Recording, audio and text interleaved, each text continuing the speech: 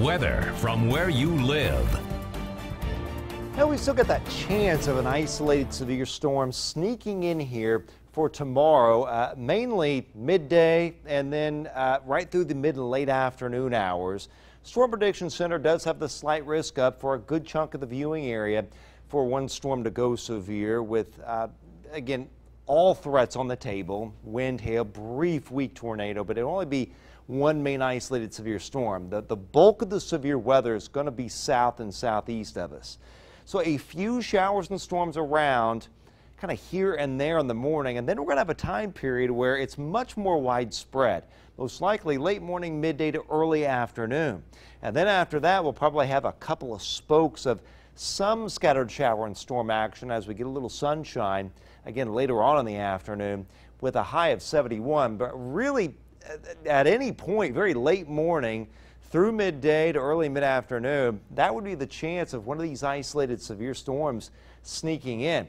Showery, gray on Sunday morning, that is, but it will be windy and kind of chilly. Wind chill 40 at 9 o'clock in the morning with a temperature of 49 and the clouds gradually clear south to north. The rain gradually pushes out.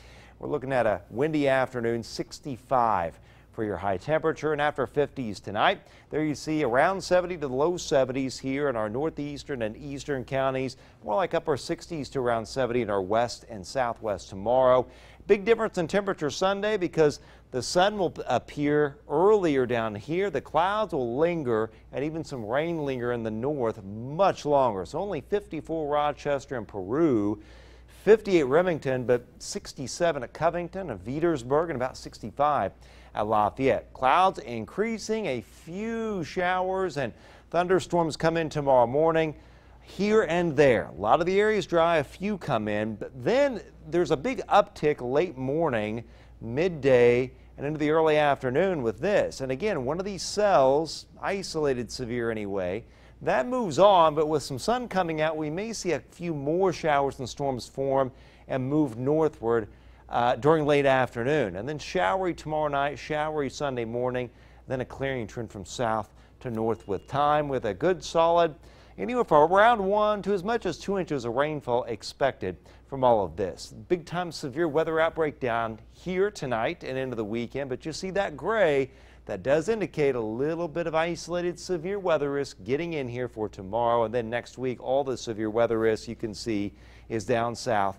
and down towards Texas. 70 forecast, normal high 61, 72 on Monday. Uh, Tuesday, not bad, a morning shower or two, and then we're pretty seasonable Wednesday and Thursday, warmer Friday. All right, Chad, thank you very much.